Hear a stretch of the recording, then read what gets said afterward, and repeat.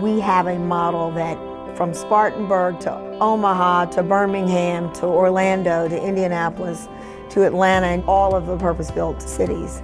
And you would find that there, there's something to learn in each one of those cities. And we are a giving, loving group, but we also are a group that learns. So we come with uh, certain humility, knowing that local leaders know their communities best.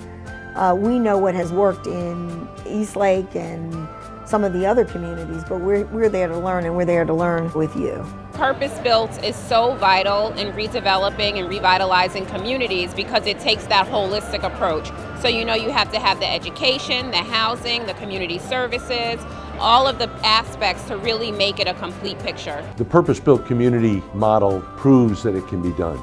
Every community in this country who chases that kind of a result has to understand that their circumstances and facts are different. But the basic values, the drive, the hope, the belief that change can occur for the better for everyone, all of those are core ingredients in each one of our journeys.